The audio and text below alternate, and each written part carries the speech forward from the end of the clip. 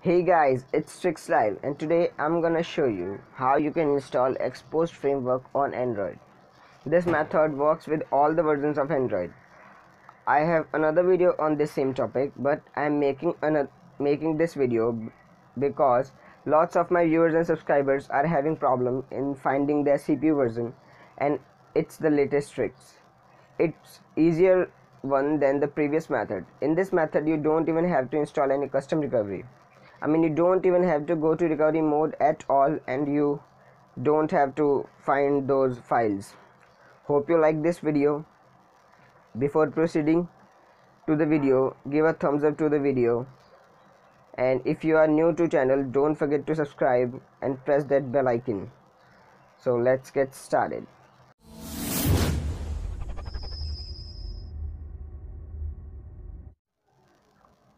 Before moving to the video make sure that you know how you can flash stock ROM on your device or custom ROM on your device. You have to have some knowledge about these things because installing Xposed framework can soft brick your phone. So have some knowledge about flashing ROMs on your device. You can get ideas from YouTube also so that you can install your ROM if something gets wrong. Now about this trick. Your phone have to be rooted. So i'm just showing you that my phone is rooted. And it's rooted to KingRoot of course.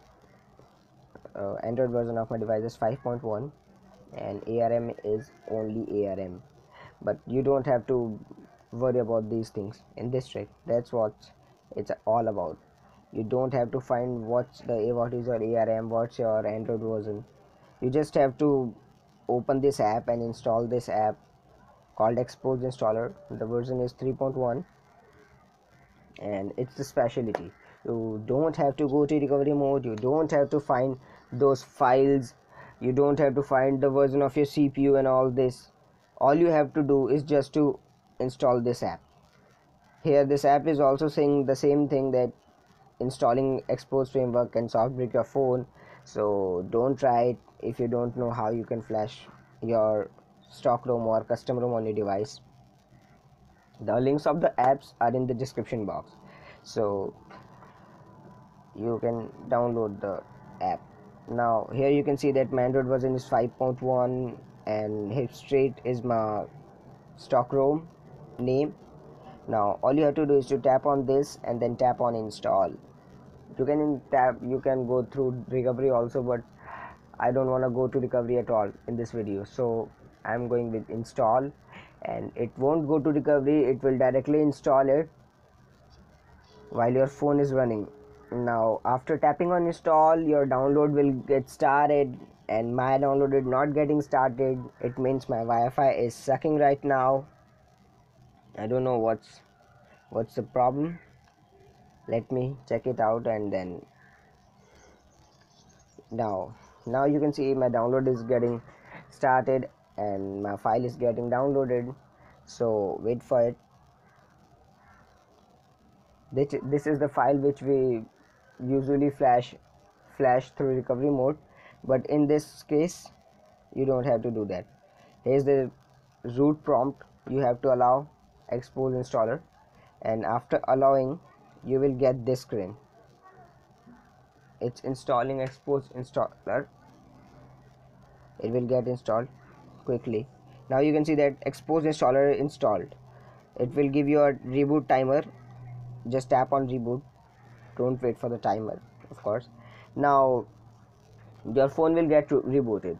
Now here is the thing. I'm just trimming this video so that this video don't go that much long but the first boot after installing Xposed framework can take up to 15 minutes or it may take up to 20 minutes according to your phone so don't get panicked. At least give time at least give 20 minutes. And even if it's don't getting it's not getting started try wiping your data and cache through recovery mode.